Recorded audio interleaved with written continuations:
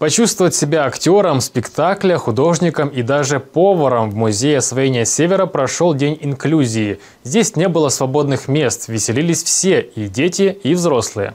Праздник нам организовали при помощи гранта ПАО «Сибур Холдинг». Огромное им спасибо за это. А также нам помогает э, Губкинский музей освоения Севера. Как вы видите, мы на их площадке.